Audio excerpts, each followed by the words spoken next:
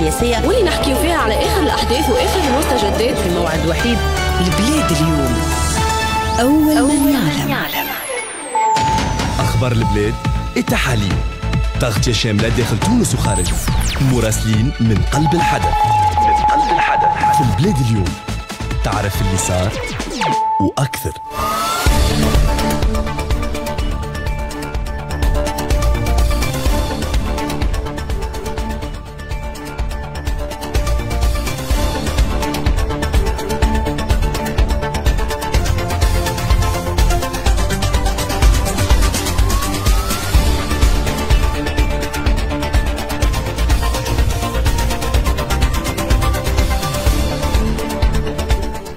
نصف نهار وست دقائق على موجة الإذاعة الوطنية التونسية. هذا موعدكم مع البلاد اليوم الثلاثاء 18 أوت 2020 من توا حتى المدي ساعة تسمعوا معنا آخر وأهم الأخبار السياسية والوطنية. مع كامل الفريق اليوم فاطمة عبار في التنسيق العام مروان المحفوظي في الهندسة الصوتية فاروق الزارعي وأحمد بوبية على الإذاعة المرئية. معكم أنا جيهان علوان من أمام الميكروفون في التقديم. يرافقني في التحليل والتعليق الباحث الفلسفة السياسية قاسم غربي. قاسم مرحبا بك. مرحبا بك جيهان. مرحبا بالمستمعين والمستمعات. كل الفريق. حاضر كالعاده يعني اليوم في التحليل عندنا برشا أخبار هاي بي. ضيفنا بعد شوية في كلام في السياسة رئيس الكتلة الوطنية حاتم المليكي البارح كان في لقاء مع المكلف بتشكيل الحكومة السيد هشام المشيشي. ماذا جاء في هذا اللقاء؟ ما الذي يطرحه المشيشي على القوى السياسية والكتل البرلمانية بعد الإعلان عن طبيعة حكومته المرتقبة حكومة الكفاءات المستقلة؟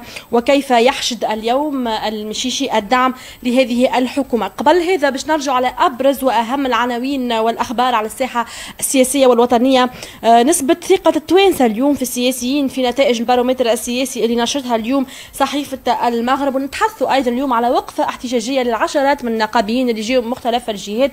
وقفة احتجاجية اليوم الصباح أمام مقر الاتحاد لرفع شعار للتمديد بعد شوية نعرفوا هي الحكاية وشنو المشكل مع سليم غريس عضو التنسيقية الوطنية يكون حاضر معنا عبر الهاتف هذا الكل في البلاد في عناوين.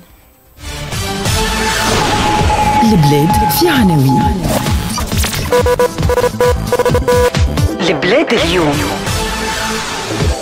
البلاد في عناوين اليوم الثلاثاء 18 أوت 2020 نحكيو على البارومتر السياسي لشهر أوت 2020 لسيجما كونسي اللي قامت به بالتعاون مع صحيفة المغرب أبرز ان أبرز البارومتر هذايا أنه مؤشر الثقة الكبيرة يتصدروا رئيس الجمهورية الحالي سيد قيس سعيد ب 54% ثم عبد اللطيف المكي وزير الصحة السابق والقيادي بحركة النهضة في المرتبة الثانية ب 43% في المرتبة الثالثة النائب صافي سعيد ب 28% المرتبة الرابعة الرئيس الأسبق سيد محمد منصف المرزوقي ب 23% المرتبة الخامسة السيدة عبير موسي رئيس الحزب الحر الدستوري ب 21% في حين تراجعت نسبة الثقة في رئيس حكومة تصريف الأعمال سيد إلياس الفخفاخ بالمقارنة بالشهر الماضي في جويلية 2020 تراجعت ب 20 نقطة كاملة ويحظى ب 13% فقط من ثقة المستجوبين في البارومتر هذايا. تعليقك آه قاسم؟ تو قطع نظر على الأرقام. آه فما أسماء نلقاوهم يعني ديما موجودين كما صافي سعيد. مثلا كي نلقاو السيد صافي مع احترامي للشخص يعني ما آه كي نلقاو السيد صافي سعيد معناها موجود. رغم إنه هو ال visibilité نتاعو معناها ناقصة برشا. تقريبا لم يعد يشاهد السيد صافي سعيد في وسائل الإعلام في مختلف وسائل الإعلام. سيد الرئيس الأسبق سيد منصف المرزوقي. كيف كيف؟ مثلا. هذا يخلينا نطرح الحقيقة العديد من التساؤلات حول هذه العمليات مصداقية يعني هذه العملية. أنا ما نقولش مصداقيتها مدى مدى, مدى صدقيتها مش مصداقيتها. صدقيتها ومطابقتها للواقع. علاش؟ ممكن كان تسمح جيان نحب نرجع شوية الأسبوع الفارط فك السونداج اللي تعمل لي تحت عنوان الزلزال السياسي في تونس. السونداج هذا تعمل على قداش؟ تعمل على 803 شخص. 500 منهم قالوا ما نشاركوش ما نجاوبوش معناها ما عطاوش الإجابة نتاعهم نتكلموا بالطريقة العادية التونسية معناها. 500 قالوا ما عندناش إجابة. في ال 300 اللي بقاو فما 105 قالوا إحنا مع الحزب الدستوري الحر. يعني ما نعرفش أنا علميا مش اختصاصي. هل ب 105 صوت؟ 105 شخص على آه، عدد مقترعين مفترضين أو ناخبين مفترضين اللي هو 8 ملايين في تونس تقريبا. معناها ب 105 صوت نجموا آه، نعملوا شوية هكا سبيكولاسيون نقولوا 35% من ال آه، من الناخب من الناخبين التونسيين سيصوتون لهذا الحزب أو ذاك بقطع نظر على شكون الحزب. لكن تلقى أنت في عين تاخذ عينة وتلقى أغلب المسجلين في العينة هذيك باش يصوتوا لحزب معين يعني فما حاجة إيه يعني معناها تطرح تساؤلات أنا يعني. أنا نظن إنه فما برشا معناها فما برشا تهويل لهذه الأرقام. آه هذه قد تكون مؤشرات جيدة. قد تكون مؤشرات جيدة للبعض أو سيئة للبعض الآخر. ولكن أنا شخصيا نأخذها بكثير من الاحتراس. آه، خلينا نمشي نحكي زاد على مؤشر انعدام الثقة كليا في السياسيين. يعني التوانسه اليوم في شكون ما عندهمش الثقة جملة. نلقاه في المقدمة رئيس مجلس النواب ورئيس حركة النهضة سيد راشد الغنوشي 67% من المستجوبين ما عندهمش فيه الثقه جملة. ثم في المرتبة الثانية الرئيس الحكومة السابق يوسف الشاهد ب 60% المرتبة الثالثة وهي يثير الاستغراب أيضا أمين حزب أمين عام حزب العمال السيد حامل الهمامي في نفس المرتبة نلقاوه هو ونبيل القروي رئيس حزب قلب تونس في نفس المرتبة ب 59% 59% من المستجوبين ما عندهمش ثقة في حامل الهمامي ونبيل القروي ثم في المرتبة الرابعة آه نلقاو القيادي بحركة النهضة علي العريض ورئيس حزب الدستور الحر عبير موسي بنفس النسبة من انعدام الثقة كليا ب 54% أنا باش ناخذ الرقم هذا الأخير فقط. آه، سي... آه، اللي هي السيدة عبير موسي. آه.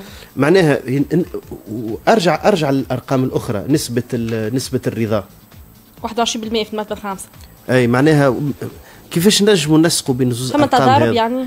أنا نظن فما شوية هكا ما همش ما همش متناسقين على كل حال. السونداج الاخراني في المرتبه الأولى في التشريعي في التشريعية. المرتبه الأولى في التشريعيه وتلقاها هي كشخص في الرئاسية في المرتبة الثانية آه. ولكن ب 8% يبدو لي فما مشكلة في الأرقام ما نعرفش. وإلا المستجوبين ما, ما عندهم طريقة في الإجابة معناها غريبة شوية معناها. خاطر نظن أنا كيفاش يوقع؟ هي هو راهو الأرقام هذه الكل. تلقاهم نفس الأشخاص اللي قاعدين يجاوبوا. معناها هل 300 هذم 300 شخص en général اللي جاوبوا على على مختلف الأسئلة خاطر هي يطلبوا بالتليفون نفس الشخص يسألوه مختلف الأسئلة نسبة الرضا نسبة عدم الرضا آه، شكون ترشح في التشريعية شكون ترشح في الرئاسية هو نفس الشخص اللي قاعد يجاوب. بمعنى إنه فما 300 شخص هما اللي جاوبوا على كل هذه الأسئلة. بصراحة معناها هل من الناحية العلمية أنا ما نجمش نجاوب ولكن هل من الناحية العلمية هذا مقبول ولا لا؟ والمنطقية زاد تلقى عبير مسلم عندها ثقة التوانسه عندهم فيها ثقة كبيرة ومن شيرة أخرى ومن شيرة أخرى ما همش راضيين عليها آه السيد هيكل المكي آه النائب عن حركة الشعب أصدر آه خرج post يبدو لي عنده post في الفيسبوك. عنده نهارين يتحدث على الآن الآن أصبح ضروري تقنين مؤسسات صبر مؤسسات الآراء. صبر الآراء. أنا يبدو لي هذا ضروري حتى ما تتحولش مؤسسات صبر الآراء من صبر الآراء إلى صناعة الرأي العام. توجيه الرأي العام وصناعة الرأي العام. نفس البارومتر السياسي لشهر أوت الحالي واللي تم نشره اليوم في صحيفة المغرب بين سيطرة التشاؤم على مزاج المزاج العام للتوانسة اللي بلغ 79.6% تقريبا 80% من المستجوبين عندهم تشاؤم كبير.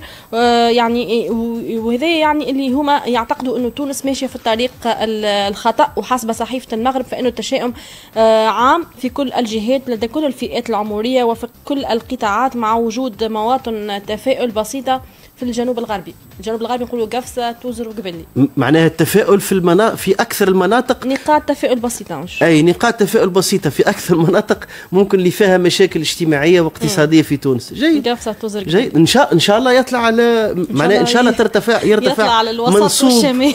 منسوب التفاؤل يرتفع في تلك المناطق في مختلف المناطق لكن مفهوم اليوم نسبة يعني مزاج التشاؤم عند التوانسة اليوم. هذه نتفهمها بقطع نظر على الأرقام اللي كنا نحاثوا عليها ولكن عادي جدا اخت اللي حتى بطريقة انطباعية. آه. وقت اللي أنت تمشي في في الشارع معناها تمشي في, في السوق تمشي تقضي تمشي الأماكن العامة تشعر إنه فما نوع من من التشاؤم. لك في نفس الوقت وهذا مفهوم. عن آه توانسه السنة عدت عليهم الكورونا. آه هو صحيح كما العالم الكل لكن عندهم الكورونا. ياسر عندهم مشهد آه سياسي غير مستقر. وضع اقتصادي منخرم وضع اجتماعي محتقن مع احتجاجات عادي إنهم يشعروا بالتشاؤم ومهمش مهمش حتى على المستقبل يعني ما همش متفائلين بالمستقبل. عودة مدرسية من العودة المدرسية لم تحسم. شوف إحنا إحنا اليوم نهار 18 أوت. 18 أوت 18 في الشهر.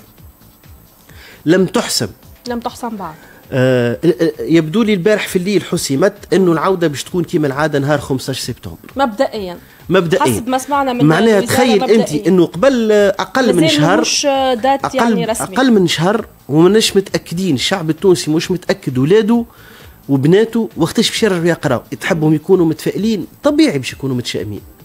طبيعي باش يكون فما نوع من الاضطراب نجموا اليوم نتفهموا انه السلطة ما زالت ما حددتش تاريخ العودة المدرسية بما انه الوضع الوبائي ما زال ماهوش مفهوم. في تونس اليوم عندنا من ناحية هذه حالات صحيح. إصابات أفقية معناتها عدوى من ناحية هذه صحيح ولكن عندنا مشكلة أخرى. فما آه. أطراف اجتماعية وطرف اجتماعي آه يبدو حسب ما يروج. أنا ما نأكدش المسألة هذه ولكن حسب ما يروج أنه الطرف الاجتماعي آه رافض العودة المبكرة. ولكن عدم العودة المبكرة باش يطرح معناها باش يخلي التلامذه في حرج زاد. لأنك أنت عندك المراجعة خاصة بالنسبة للأقسام النهائية. عندك التلامذه مثلا اللي في الباك العام الجاي. آه، عندهم ال sixième année ما كملوش معناها ال troisième année بال système آه. الجديد. آه. السنة الثالثة ما كملوهاش. ثلاثيه ثالثه كان مفترض الحديث اللي صار إنهم يرجعوا في بداية سبتمبر على الأقل فما 15 يوم ثلاث جمعات نوع من مراجعة rattrapage سريعه وكل شيء. آه. هذه ما وقعتش. يبدو إنها مش باش توقع. الأغلب إنها مش باش توقع. ما دام باش نرجعوا إذا كان رجعنا لو كان سبتمبر. المراجعة هذه كيفاش باش توقع؟ تو ممكن بالنسبة للأقسام الأخرين ما تمثلش إشكال كبير. لكن بالنسبة للأقسام اللي هو في آخر العام باش يعدي امتحان باش يعدي concours ولكن باش يكون جاهز التلميذ لل concours يحتاج إنه السنة الثالثة يكملها. هل هذه معناها وضعية عادية للتلامذة باش يرجعوا فيها؟ أنا نقول لك لا. فطبيعي باش تلقى العائلات متحيرين. طبعا العائلات التونسية أهم حاجة عندها ديما يكون وضعيه وضعية دراسية لأبنائها. أه نكملوا آه، مع بقية الأخبار السياسية. اذا قاسم أسبوع فقط يفصلنا على نهاية المهلة الدستورية للمكلف بتشكيل الحكومة سيد هشام المشيشي أه ليقدم حكومته يعرضها على رئيس الجمهورية ثم على البرلمان للمصادقة. هشام المشيشي يواصل حشد الدعم السياسي لحكومته بعد ما أعلن يوم 10 أوت أنها ستكون حكومة كفاءات مستقلة. آه، هناك تفاعل إيجابي لاحظناه من بعض القوى السياسية في المقابل. أحزاب أخرى ما زالت متمسكة بخيار حكومة سياسية وتقول أنه هذا هو الحل الأنجع. البارح كان ضيفنا آه، رئيس كتلة الإصلاح الوطني سيد حسن الناصري واللي أكد أنه أغلب الأطراف السياسية تدعم حكومة كفاءات آه، مستقلة. وقال أيضا أنه هناك تطور في مواقف بعض الأحزاب نحو تغيير موقفها للتفاعل إيجابيا مع طبيعة الحكومة اللي يعتبرها المشيشي يعني آه، حكومة الواجب الوطني واولوياتها باش تكون اقتصادية واجتماعية. المشيشي إذا البارح واصل استقبال مختلف الكتل البرلمانية الاصلاح الوطني كتلة المستقبل ائتلاف الكرامة وأيضا الدستوري الحر. وباستثناء ائتلاف الكرامة بقية الكتل البارح كان عبرت في تصريحات إعلامية عن ترحيبها ودعمها لحكومة الكفاءات المستقلة. وتحدثت أيضا عن تطور فحوى المشاورات. اليوم عاش نحكيو على محاصصه حزبية كما في بقية الحكومة الحكومات يعني حكومة الجملي وحكومة الفخفاخ كانت أغلب أيامات المشاورات حول المحاصره الحزبية وتقسيم المناصب وكل حزب قد باش ياخذ من وزارة.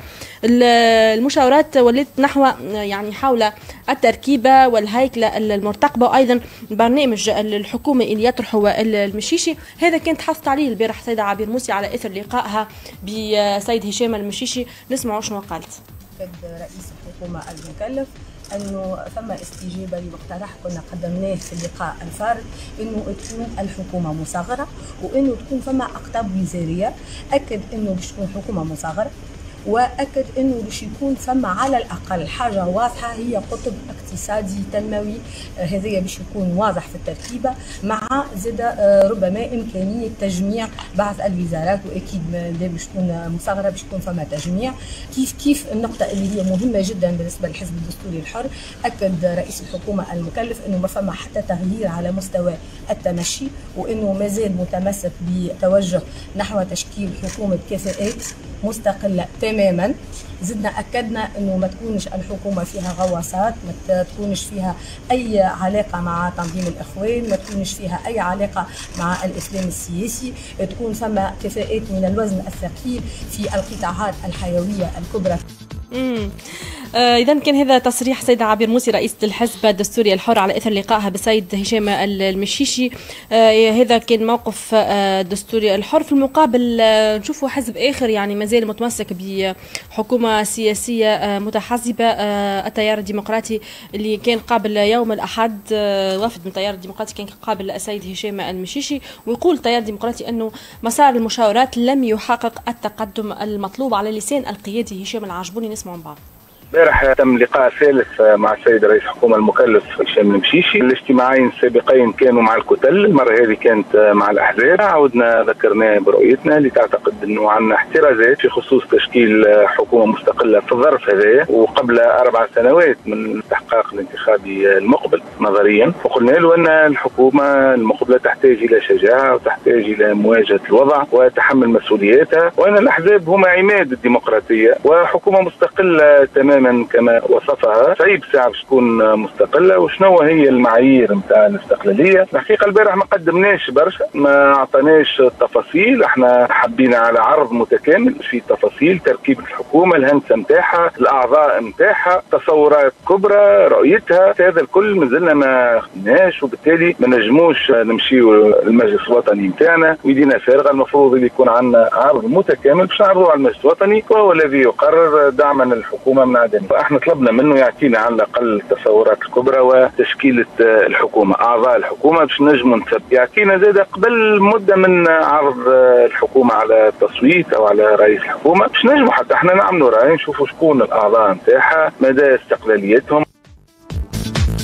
إذا كان هذا تصريح السيد هشام العجبوني القيادي بالتيار الديمقراطي. خلينا نكمل مع بعض المواقف. قاسم نرجع لك للتعليق. سيف الدين مخلوف رئيس كتلة ائتلاف الكرامة صرح البارح زاد على إثر لقاء الكتلة بهشام المشيشي. قال إنه رئيس الحكومة المكلف لا يزال مصر على خياره في تكوين حكومة كفاءات وهو خيار يتماهى مع تصور رئيس الجمهورية غير المفهوم ودون أفق. واضح وقال أن ائتلاف الكرامة متمسك بتكوين حكومة سياسية تعكس نتائج الانتخابات. باش نعمل تعليق عام معناها بمعنى ممكن ندخل في بعض التفاصيل. شوف فما مشكلة في تونس. إحنا تحدثنا البارح على أنه التركيبة الحالية لمجلس النواب هي اللي أوصلتنا لهذه المرحلة. قد تكون هذه المرحلة أو خيار حكومة الكفاءات المستقلة عن الأحزاب آه ما هوش هو الخيار الأمثل ما هوش هو الخيار اللي يعبر على جزء مهم من الشارع التونسي. قد يكون وأنا نتفق مع الناس اللي تقول إنه هذا خيار غامض قد يكون فيه بعض المخاطر إلى آخره. ولكن الوضع الحالي والتركيبة الحالية لمجلس النواب هي اللي أوصلتنا. واحد. اثنين فشل الفائز الأول في الانتخابات في تكوين الحكومة. قطع النظر على الظروف كل الظروف مم. وخلفيات هذا الفشل. ولكن في نهاية الأمر اللي النتيجة هو انه حركة النهضة فشلت في تكوين حكومة حبيب الجملي في تمريرها. هو اللي أوصل انه المبادرة أصبحت بيد رئيس الجمهورية. باهي اختار الياس فخفاخ. الياس فخفاخ في نهاية الأمر استقال من سبقت الاستقالة أم لائحة اللوم؟ في النهاية حتى اللي قدموا لائحة اللوم قبلوا بأن الاستقالة هي الأولى. رغبة منهم ربما في عدم الدخول في صراع مع رئيس الجمهورية ممكن ولكن العبرة بالنتيجة بالنسبة لنا نحن النتيجة هي أن المبادرة الآن هي بيد رئيس الجمهورية.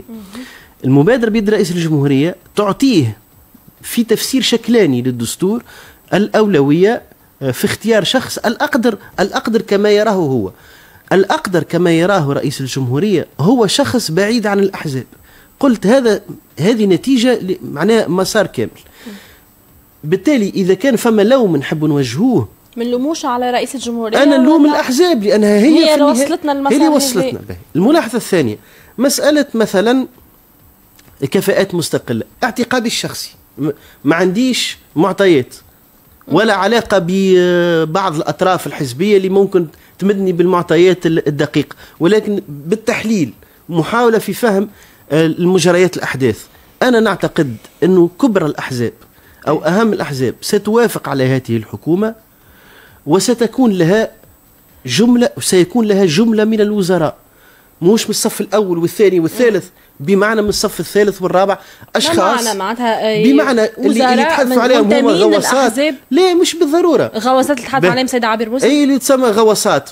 هي عبارة ما هيش ما هيش جميلة جدا. يستعملوا فيها مختلف الأطراف. ولكن خليني مثالش نستعملوها بين قوسين. مثلا لو أصبح السيد آه، آه، الفاضل عبد الكافي وزير. مثلا آه. ناخذ مثال. سيقال بأنه وفعلا يعني ماديا آه. السيد فاضل عبد الكافي مستقل. مستقل ماديا. اي معناها حزبيا وما عنده حتى انتماء حزبي. أي. تنظيميا ولكن كنا نعرف ولا حتى تنظيميا ما عندوش حتى ارتباط تنظيمي أو حزبي. آه ولكن معروف إنه السيد فاضل عبد الكافي قريب من قلب تونس. هذا سيرضي قلب تونس. ولكن أيضا سيجعل من السيد آه، هشام المشيشي آه، آه، معناها حرج. لا لا مش في وضع حرج مم. هو احترم الجانب الشكلي أي. ما إحنا قلنا كلها في الشكليات هو احترام الجانب الشكلي كما قلب تونس كما حركة النهضة كما الأحزاب الأخرى بما فيهم الدستور الحر مم. قادر انه يكون عنده أشخاص موالين للدستور الحر ولكن تنظيميا لا ينتميون تنظيميا وهم مش معلنين انتمائهم ربما الأفكار أفكار بالضبط. ويقع ويقع توزيرهم يقع توزيرهم بين آه، قوسين. توزيرهم بالمعنى الإيجابي بالمعنى يعني الإيجابي يعني توزيرهم يصبحوا وزراء وتمر الحكومة. الإشكال عند بعض الأحزاب الصغرى أو الأحزاب اللي ما عندهاش صف ثاني وثالث ورابع. هي بالكاد تحصل على صف أول. يعني ترشيح أشخاص لمجلس النواب ربما. وهذا ربما آه، يفسر هذا يخليها في حرج. تحب عليه حكومة بصراحة ما نحبش ما نحبش نحرج حتى طرف لأني كل العديد من الأطراف لديهم كل الاحترام. أنا شخصيا نحترمهم وعندي فيهم العديد من الأصدقاء فبالتالي ما نحرجهمش. ولكن نعتقد إنه الإشكال هذا موجود إنه ربما بعض الأطراف ما عندهاش شخصيات قريبه منها. قادرة إنها آه، تحطها تكون موجودة آه، في في على كل هو حسب ما سمعنا من بعض تصريحات السياسيين اللي قابلوا السيد هشام الشيشي يقول لك يعني آه، لن يعمل بمفرده سيكون فما تنسيق وشراكة مع صراحة معناها بقطع النظر على الطرف اللي قالها ولكن الفكرة اللي قالها البارح حسون الناصفي فكرة ممتازة إذا كان هي فكرة السيد هشام الشيشي. إذا كان فعليا تطبق في فكرة ممتازة لأنه باش يقع تنسيق عمليا بين السلطة التنفيذية والسلطة التشريعية وهذا هو المطلوب في المرحلة هذه. ونأكد لك استراتيجيا هو في مصلحة الأحزاب. الخروج خروج القيادات من الصف الأول والثاني الوجوه المعروفة من الاستحقاق الحكومي آه، ستكتشف الأحزاب بعد فترة قصيرة بأنه كان في مصلحتها. وهل فعلا اليوم القول أن تكوين حكومة كفاءات هو خيار يتماهى مع تصور رئيس الجمهورية؟ تصوره غير مفهوم واللي ما عندوش أفق واضح هكا يقول آه، سيف الدين مخلوف رئيس كتلة فما زوج نقاط. فما نقطة نقول أنا موافق ولا مانيش موافق وفما نقطة نقول واضح أو مش واضح. أنا نعتقد أنه تفكير وتوجه السيد قيس سعيد واضح. تتفق معاه فوالا تتفق معاها وما تتفقش معاه مسألة أخرى. ولكنه واضح. أنا ما نعرفش علاش فما أطراف يقولوا ما هوش واضح. لا هو واضح؟ هو واضح هو مشروع لا يؤمن بالأحزاب.